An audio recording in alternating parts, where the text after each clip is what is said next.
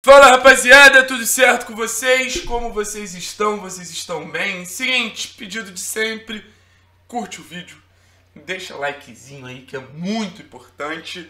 Você também pode se inscrever no canal, ajudar a gente a bater a marca de 10 mil inscritos, que é uma vontade enorme chegar nessa marca ainda nesse mês, faltam 50 e poucas pessoas.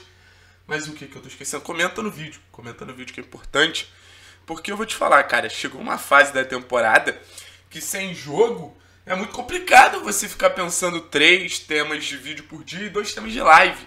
Então eu tava hoje, porra, puto, porque eu não conseguia pensar o terceiro tema. Já tinha feito dois vídeos, um muito bom, que é a análise tática do, do jogos que o Antônio Oliveira comandou, né? O jogo contra o Esporte, o jogo contra o Cianorte, enfim. E o que eu posso trazer para vocês é o seguinte às vezes é foda pensar tema, bicho. Às vezes é complicado produzir conteúdo. Às vezes eu sinto muita vontade de ser um trabalhador tradicional, sabe? Aquele trabalhador que o chefe passa a missão, você vai lá só e faz. Porque quando eu resolvi largar meu emprego, vim aqui pro YouTube e tudo mais, foi uma opção de ter uma liberdade também, trabalhar para vocês. Vocês são meus patrões, então por isso que eu peço. Ajudem a pagar o meu salário aqui, deixa like no vídeo, deixa o aplauso que também dá para fazer uma contribuição financeira. Então, eu queria essa liberdade, eu queria essa, essa nova filosofia de vida, né? Não ter que ficar ali de 8 da manhã às 6 da tarde. E, pô, às vezes eu trabalho até bem mais. Às vezes eu trabalho até bem mais aqui, pô. Às vezes eu trabalho 12, 13 horas aqui no canal, mas trabalho aqui de samba canção no meu quarto. Vocês não sabem como eu venho aqui, vocês só me veem de camiseta. Sabe, vocês não me veem a parte de baixo. Eu acho que nem querem vir, né? Mas. Mas tava puto, não tava conseguindo pensar um tema para esse vídeo. Fui tomar um banho, refrescar a mente. E, pô, eu sempre boto notícia de time pra ouvir, independente do que que é. Eu clico ali no YouTube, qualquer vídeo de informação de Flamengo, Corinthians. E, cara, é, tava tendo umas notícias do Corinthians, assim, eu nem sei de quando era esse vídeo. Acho que era mais antigo um pouco que falava sobre Jô e Otero, dois jogadores do Corinthians, é, jogando futebol num hostel. Os caras estão de férias também, assim como o elenco principal do Atlético. Os caras estão de férias. E eu fiquei pensando, velho.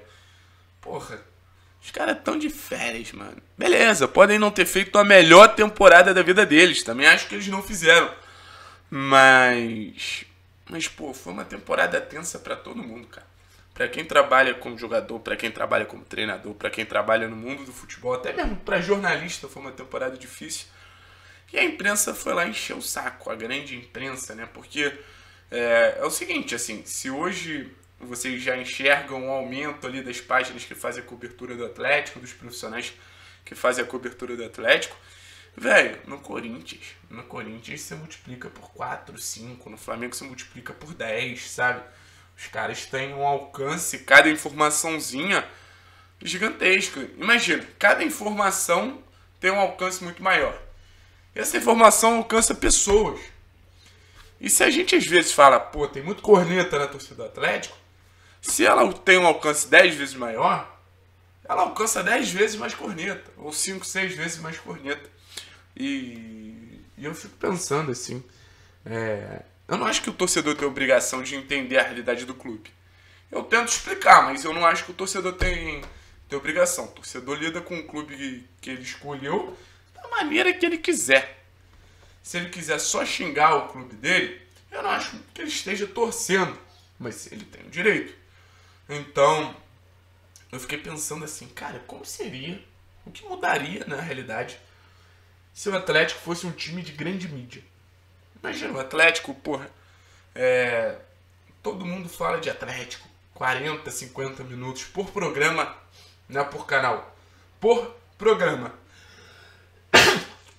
É, desculpa. Por programa.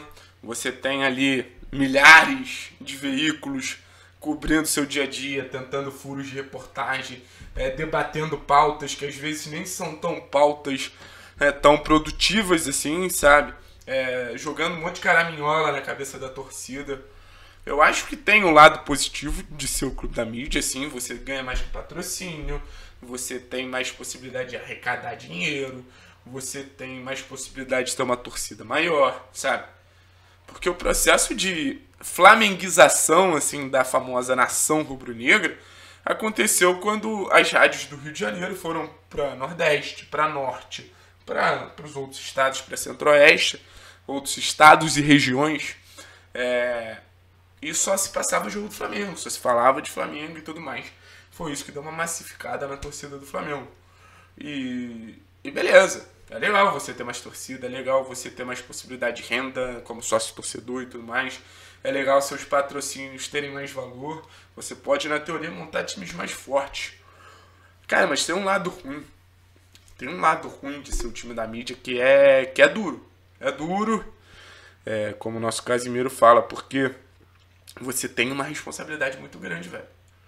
Você tem uma responsabilidade muito grande. Os jogadores e, e treinador e comissão técnica e diretoria. Porque o Atlético é um time fechado. Eu já acho o Atlético um time fechado. Mas imagina se o Atlético continuasse fechado e tivesse, sei lá, 30, 40 jornalistas na porta do clube. É o que acontece no Flamengo. O porteiro do Flamengo chega no Ninho do Urubu, tem 30, 40 pessoas. Prontas para entrar. Aí é cameraman, aí é repórter, é produtor, mas enfim, são 40, 50 pessoas por dia.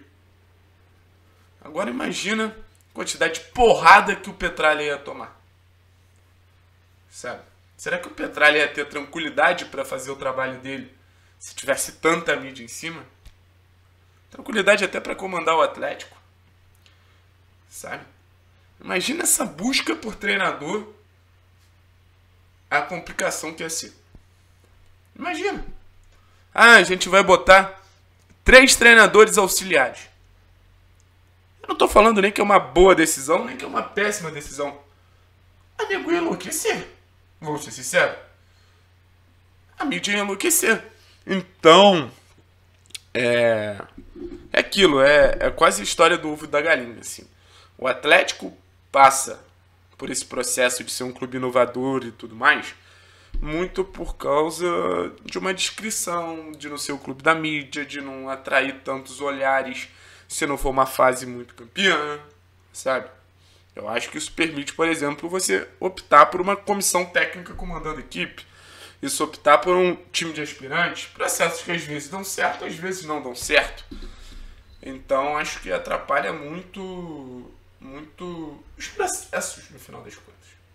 É, quando você tem uma imprensa é, atuante, quando você tem uma imprensa acompanhando seu dia a dia, ela precisa de pauta, velho. Ela precisa de pauta. Eu aqui preciso de pauta, tô em falta de pauta, então tô conversando várias paradas com vocês. Então, eles precisam contar uma historinha. Eles precisam contar uma historinha. E historinha não tem só o mocinho. Tem um vilão. Tem o cara atrapalhado. Então ele, eles vão construindo personagens assim que, por exemplo, o Nicão, por algum momento do Campeonato Brasileiro, não estava jogando tão bem. Seria Nicão Pipoqueiro, sabe? Seria é, Autor e Ultrapassado. Eduardo Barros, estagiário. Então, no final das contas, cara, eu vou ser bem sincero com vocês. Eu acho que o ganho é maior que a perda. O ganho é maior que a perda.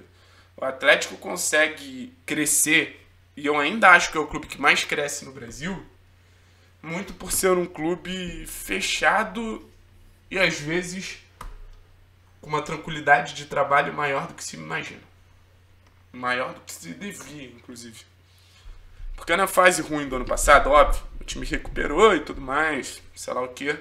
Mas na fase ruim do ano passado, meu velho, o que nego ia cair de pau em N jogadores. Thiago Heleno nunca mais pisa no Atlético. Porque a galera que, que fala de Atlético já reclama do, do pessoal do Twitter, que é chato toda a vida. Sabe? Imagina, pô, programa de TV, TV a cabo, todos os canais falando. Eu, eu, eu, enfim, eu acho que é um dos grandes fatores do sucesso do Atlético, assim, recente, é ter essa tranquilidade. Eu acho que a mídia brasileira é uma mídia que vem ganhando uma concorrência muito forte das plataformas digitais, YouTube e tudo mais. Isso vem criando um certo apavoro para os caras e não estão sabendo inovar. a mídia é muito ultrapassada, o jogo muda, mas a mídia não muda, como é isso? Então, o, toda questão que eu queria trazer aqui era basicamente é importante o clube ser fechado. É importante o clube saber o que sai é, para a torcida, sabe? Esse diálogo às vezes pode atrapalhar mais do que ajudar. Então, óbvio, poderia ser mais bem é, sucedida a relação? Acho que poderia. Mas também eu acho que existe um limite. Eu acho que a torcida do Atlético tem que dar graças a Deus, cara. Tem que dar graças a Deus por ter profissionais de qualidade, Monique, Nádia e tudo mais. Tem a gente que tenta, né? Eu, Tretes, enfim, que a gente tenta ajudar todo mundo trazendo informações. Mas no final das contas, cara, no final das contas, é...